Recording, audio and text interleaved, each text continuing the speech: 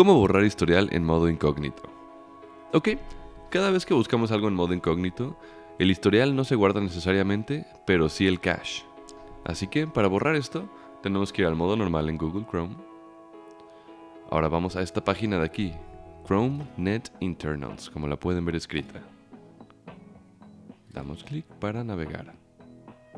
Ok, una vez aquí, tenemos que dar clic en donde dice DNS a la izquierda y aquí a la derecha ponemos la página de la cual queremos borrar el cache. Al encontrarla, damos clic en Clear Host Cache.